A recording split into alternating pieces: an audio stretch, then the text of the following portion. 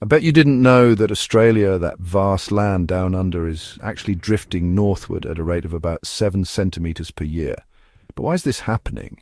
The answer lies in the fascinating world of plate tectonics. Earth's crust is divided into several large plates that float on the semi-liquid layer beneath.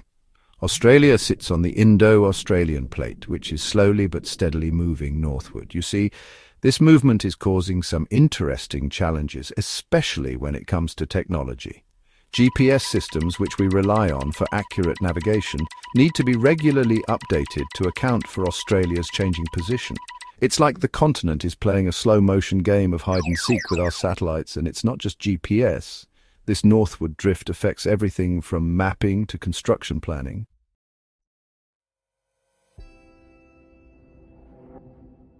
So next time you're in Australia, remember, you're standing on a continent that's constantly on the move.